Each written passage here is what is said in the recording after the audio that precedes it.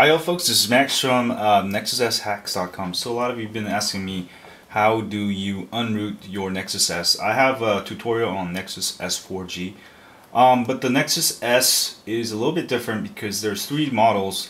Um, you either have i9020T, which is a T-Mobile version, or you have the i9023, or you have i9020A.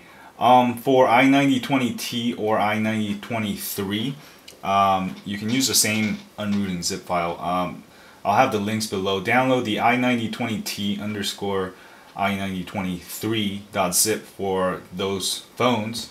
Um, and for i9020a, download the i9020a.zip. And then you connect it as a USB drive and copy it over to your phone.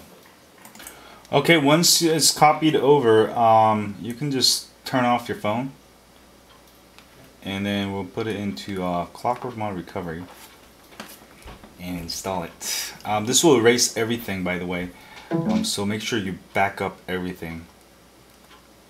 Hold down the volume up and the power button until you see this. Right, and let's zoom in so we can see a little bit better.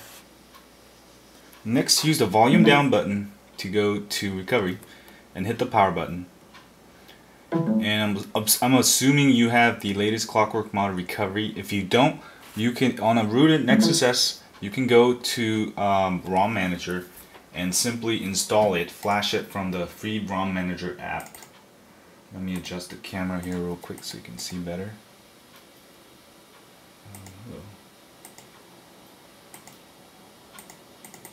Yeah, I'm gonna have to stop. So now what we're going to do is we're going to go to uh, apply update from SD card, not install from SD card. Update, update, apply update from SD card, hit the power button. Oh, whoops. You know what? Let's try this. Install zip from SD card. Um, choose zip from SD card. And find the uh, i9020t underscore i90 23.zip. If you have the other one, it's i9020a.zip. And simply say yes. And uh, this should install a completely stock ROM and uh, erase all your personal settings. Um, and uh, you should be back to stock. And all you have to do um, is do OEM lock, which I'll show you using fastboot. So I'll be back when this is done. So it is done and uh, let me go check that, uh, go back and reboot system now. And uh, let's see if it boots up with the new, the stock ROM. So I'll be back. Hi y'all folks, so I rebooted. Um, I still have these uh, apps here. I forgot to erase um, personal data. I forgot to wipe but that's not a big deal. So let's go do that real quick. Let's turn it off, but I don't have super user anymore. And we're gonna also double check that we lost clockwork mod recovery. Um, so hold up and the power button. And then we'll go to um, recovery and simply erase all our personal data on our phone. And make sure you back up anything you need.